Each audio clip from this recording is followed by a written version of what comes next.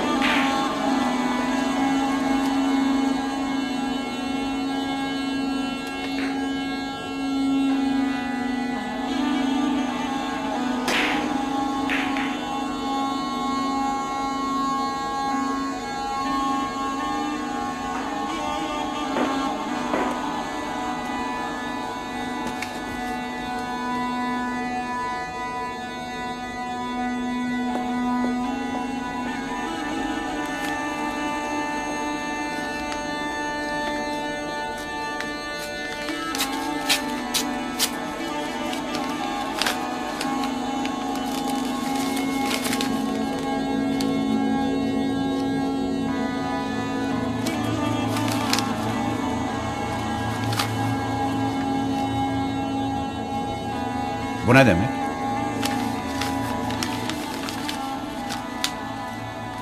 Kaderimizi siz yazarsınız. Siz silersiniz. Siz belirlersiniz. Nasıl isterseniz.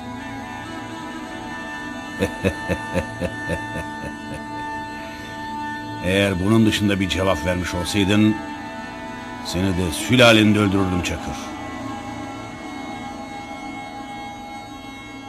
Ama yaklaşımın hoşuma gitti.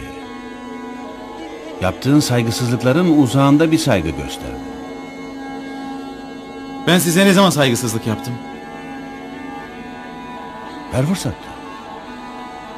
Üç cinayetin dışında öldürdüğün... ...hangi adamı benim iznimle ve bilgim dahilinde öldürdün?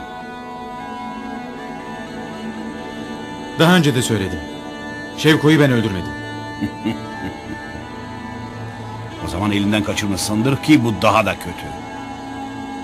Hastaneye geçmiş olsun ama gittiniz. Konuşturmaya gittik. Bu alem kimsenin kimseyi konuşturduğu alem değildir. Herkesin birbirini susturduğu alemdir. Bu aleme göre hareket etmediniz. Bunun cezası da eğer yaşamak istiyorsanız tasınızı tarağınızı toplayıp defolun gidin İstanbul'dan.